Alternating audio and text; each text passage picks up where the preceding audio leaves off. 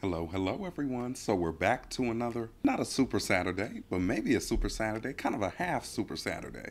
Anyway, we're getting, I think, three new Eurovision entries today. And the first that we got is Moldova's entry. You know, me and Moldova, we're pretty cool. I like what they send. It's always kind of out of left field, a little kooky, sometimes just straight up great.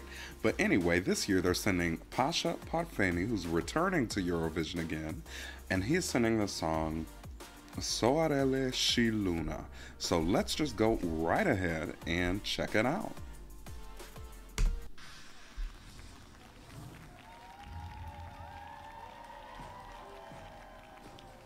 Mm. Starting off quite powerful and thus quite promising.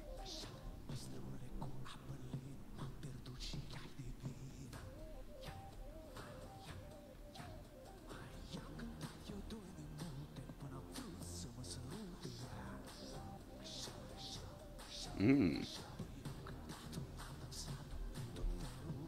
So maybe tying into some folk elements. Ooh. Oh, I pronounced it wrong. Sorry. Soarele.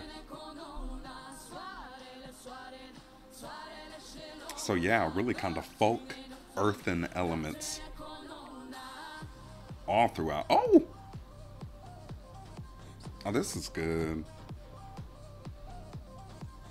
Quality. See, Moldova can go from sending a silly, wild entry to sending like a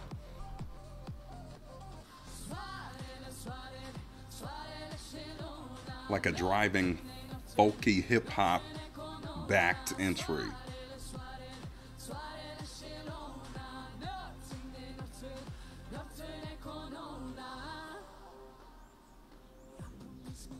And by hip hop, I mean EDM. Sorry. Sometimes you think something and the wrong word comes out.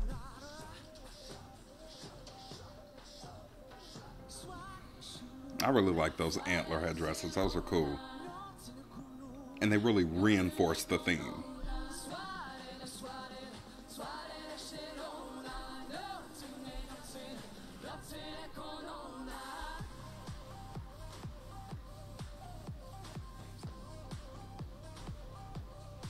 And the other thing about this is it's so easy for singers to just like stand on stage and let the action happen around them.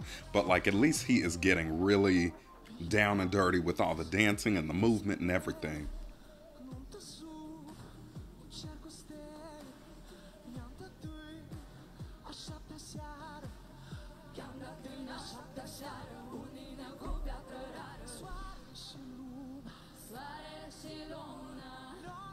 Yeah, this is just a really cool entry.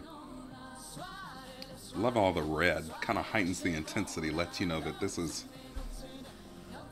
that something big is going on that you that you should pay attention to.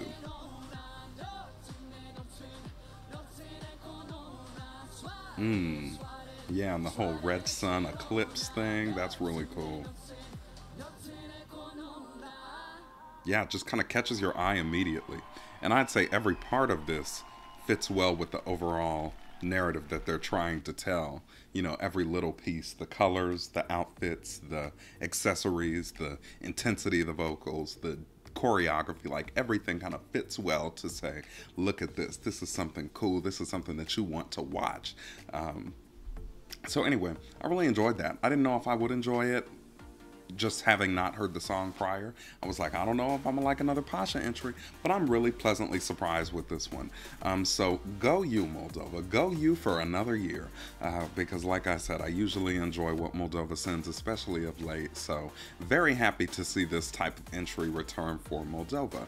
Now, if you watch Moldova's selection, were there other entries that you also um, thought could have been a good contender for Eurovision. I know Aliona Moon returned, um, if that's still the name she goes by. I know that she returned this year. Haven't really checked out her song, but like, were there other entries you liked? Was this really the standout fave that happened to win as well?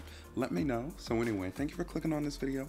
Thank you for watching this video, and as always, I'll see you next time.